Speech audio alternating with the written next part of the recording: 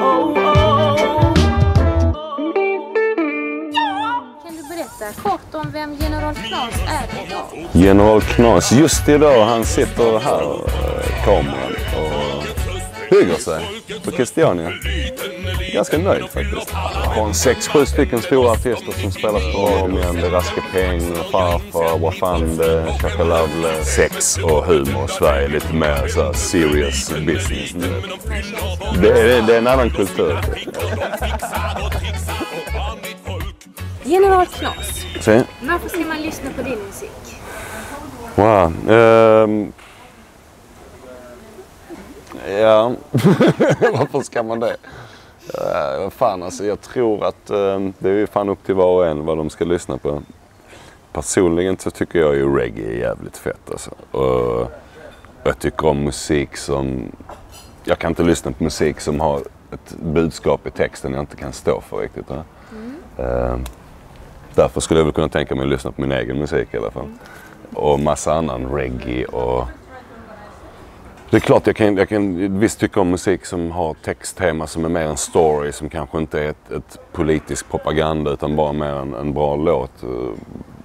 Men anledningen till att man ska lyssna på mig det är att man dels får en bra story och man får en bra politik. Liksom, va? eh, textmässigt och sen så tycker jag vi har fått till ett bra album som svänger bra här nu. Eh, Du har nyss släppt en skiva som heter Folkets röst. Sen, Eh, vilket är det viktigaste budskapet eller den viktigaste värderingen som du vill förmedla med den här skivan? solidaritet, kärlek, kärleksbudskap om, om ja, solidaritet, enhet, att vi hänger samman allihopa, att ingen kan plockas ur pusslet utan att det påverkar allting annat. Eh, och hur vi bör, bör inse det, annars är vi på väg mot en så här mänsklig och eh, social bankrutt. Hur lever du själv efter de här värderingarna? Man försöker göra så gott man kan alltså. Eh, man, man, man fall- fallerar ju ibland. Alltså, men jag försöker i alla fall att- Rent ekonomiskt så vet jag inte riktigt hur jag ska... Jag, alltså, det är svårt. Man lever i en värld där de här värderingarna eh, motarbetas genom de facto det ekonomiska systemet. Du kan inte vara hur solidarisk som helst för då har du ingenting kvar till dig själv. Eh, det finns ingen backup liksom i, i det här systemet. Eh, jag försöker, jag försöker leva, jag försöker vara, prata med människor, jag försöker vara ärlig inför människor. Jag, försöker, jag ljuger inte, jag stjäl inte. Och, ja.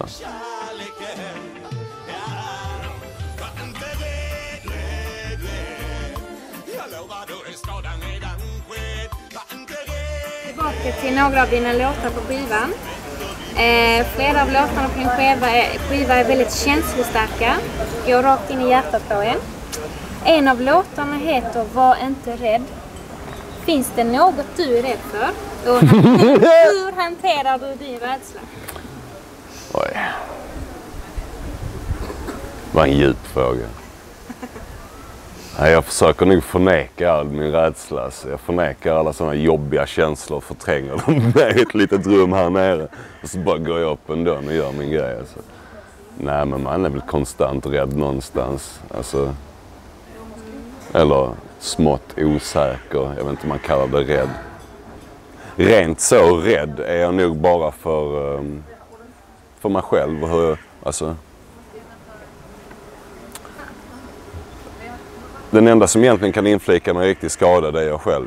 Alltså bara genom att agera på ett sätt som jag inte vill och som jag inte... Eh, man, man väljer ibland att gå fel väg och man, man, man är sin enda fiende egentligen. Det är bara man själv som det handlar om när det kommer till rädsla, för mig i alla fall. Mm. Uh. Människor är inte rädda för situationer jag är inte rädd för. Det finns ingenting mellan mig och Gud som jag är rädd för liksom. Uh. Och det tror jag, men det är väl rädslan inför sig själv som är det viktiga. Det är nog lite grann den jag sjunger om också i den låten. Att, att, att släppa rädslan, att acceptera livet och vara positiv och ta det som kommer med, med ett öppet hjärta liksom. Det, det kommer två dagar i ens liv. Det är en dag som går bra och en dag som går dåligt. Det är basically så liksom. Du, du, du får förhålla dig, till, förhålla dig till den dåliga dagen och till den goda dagen. Och, och inte bli desperat när den dåliga kommer. Du vet, och inte stig, flyga iväg när den goda kommer heller. Utan psh, försöka hålla en level liksom. Om man grundar sig i sig själv på något sätt, då, försvinner ju rädslan mer och mer. Ja. och den här rädslan som vi snackar om, va? den är... Det är själva grunden som... Vad ska jag säga? Det är anledningen till att situationen ser ut som den gör idag. Att vi går runt och är rädda. Att vi tillåter andra människor att styra över våra liv. Och att vi tar eh, beslut som är våldsamma och, och främlingsfientlighet och rasism och, och rent ägande, att man ska äga. Du vet, bara den här ägande känslan av att claima fast sitt ego. Det är bara en stor jävla rädsla liksom. Bara släpp det där. Det är det vi försöker säga. Vad är motsatsen till rädsla då? Kärlek.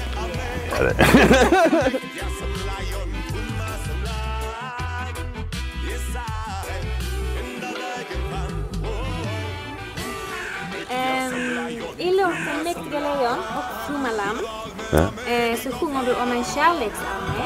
Mm. Eh, vad eller vem har inspirerat dig till den här låten?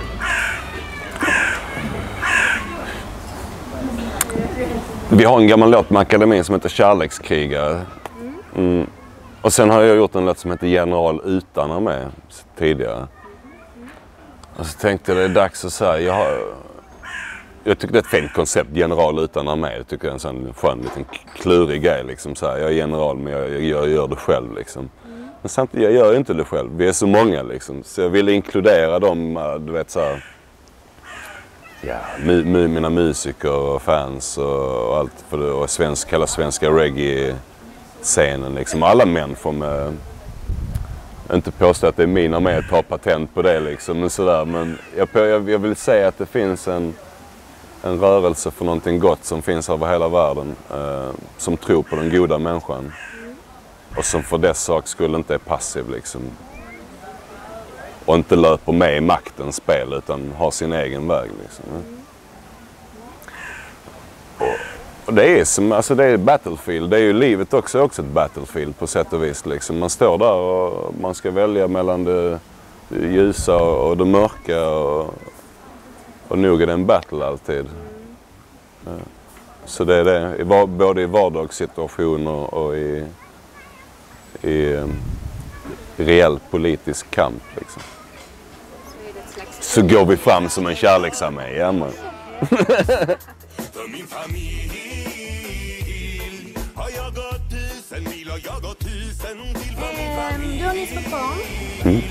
Hur känns det? Wow, det är fantastiskt. Eh, en av eh, dina låtar, på den nya skivan, eh, handlar om eh, din familj, heter den. Min familj, Ja. heter låten. Ja. Eh, du nämner din mamma och pappa. Ja. Nu har du ju själv blivit pappa. Mhm. Har din syn på familjelivet förändrats sen du själv har blivit pappa och fått en egen familj? Jag tycker allting har blivit lite verkligare faktiskt. Både mitt eget liv och mina relationer och, och, och ja, det hela har fått mer mening faktiskt. Eh, inklusive mina relationer med min egen familj. Så det... Jag rekommenderar det, skaffa barn alltså. det är fantastiskt. Men eh,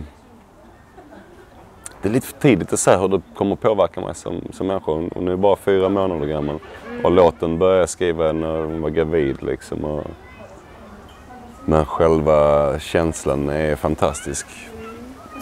Och familj, familj, lite den här låten Familj, där försöker jag göra ett koncept lite grann som att familj går ut, utöver blod också. Att familj, familj är någonting större liksom. Och lite grann så känner jag, hon är min dotter, hon är, men hon är också en gäst. Hon är en egen människa. Hon har kommit här eh, och, och bor hemma hos oss. Och vi ska nog ta hand om henne och, och byta på henne och ge henne kärlek.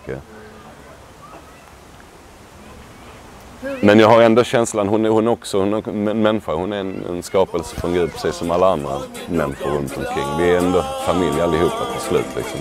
Politiken är korrupt, bland bankrutt Vi lever i en mardröm det är dags att vakna upp Utan karta och kompass Några artister som du samarbetat med på nya skivan, eh, skivan är Big Ben, Kapten Röd, Aki och Ross Daniel. Yes. Hur har samarbetet fungerat för dem?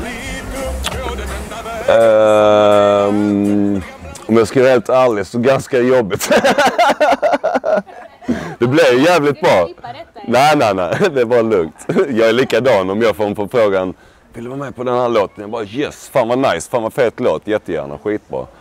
Eh, så går det några veckor och så ska man göra den där texten och så glömmer man det. Så går det några veckor till. Så är det någon som skriver deadline, deadline. Så bara okej, fan. Någon gång har man skrivit ursäkta, jag får nog dra mig ur. Men eh, de de var lite sena med verserna men det blev jävligt bra. Nej fan, det, var, det blev skitbra. Eh, jag, tycker, jag tycker det är bland de starkaste låtarna på skivan. Speciellt låten med Vic och, och Aki tycker jag är riktigt fet faktiskt. Där de... Eh, där jag sjunger lite, där jag lägger liksom ramen runt omkring och så fyller de i med sina berättelser. Det blir, jag tycker det är en, jag tycker det är en, en stark, stark låt faktiskt. Starka berättelser från två feta rappare. Så den är jag stolt över att ha varit med och gjort faktiskt. Och Russ Daniel blev också en riktigt fet låt. Med, han har en fantastisk eh, stämma, eh, röst. Som, ja. Jag är, nöjd med skivan faktiskt. Och, och produktionerna och gästerna och låtarna i allmänhet känns... Det blev ungefär som vi ville ha det. Ja. Finns det någon låt på skivan som du är mer nöjd med? Alltså som du är mest nöjd med? Det är nog den faktiskt. Och sen gillar jag också den som jag... Så många ord heter den ja. Eh, lite ballad, balladgrej. Den tycker jag är fin. Den lyssnar jag, lyssnar jag och min fru på. Sitter. ja, den är nice. Jag tycker de flesta låtarna de, fun- de funkar som en röd tråd liksom. Samman. Just nu lyssnar jag ganska mycket på skivan men om ett par veckor kommer jag bara... jag är trött på den alltså. För jag lyssnar extremt mycket nu precis kring när den släpps och sådär. När den precis är klar. Mm. Och Kapten. Ja. Ja, fantastisk. En ära och han har ju proddat flera av låtarna och, och låten tillsammans med honom är riktigt fet också. Det är dags för honom att släppa en egen skiva jag. Mm. Hör du det Björn? Om du hade varit ett djur, vilket djur hade du varit? Motivera ditt svar. Wow. Ja, vi kör ju lite, fågel, lite djurtema på skivan där. Det är fåglar och lejon och lamm. Gripen är väl en blandning mellan dem, den skånska där. Nej, jag vet inte, vad hade jag varit? Jag hade varit en... Vad hade jag varit? Oj, oj, oj. Mm, jag har fått den där frågan innan. Jag kommer aldrig på någon bra svar. Alltså. Men jag ska vänta lite grann. Jag är kanske är någon fågel. Va? Jag gillar det. Flyga. En liten svala. Nej, en sån liten sädesärla med en sån liten söt, uh, vet du sädesärlan? Det är min favorit. Jag tror jag känner, jag är, de är tillsammans, de hänger nära människorna och eh, de är så sociala och nice. Vickar omkring lite grann så, lite kavata. ja, ja. En sädesärla, ja. Så.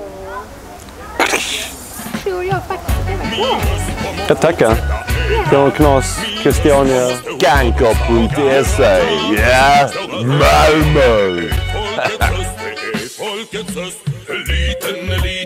Fyller parlamenten Vad hände med oss de 99 procenten? Dags att börja inse att ni fått slut på skämten. Systemet är ruttet ända ner i fundamenten Eliten är liten men de fyller vår riksdag. Fyller sina fickor, de fixar och trixar för vanligt folk.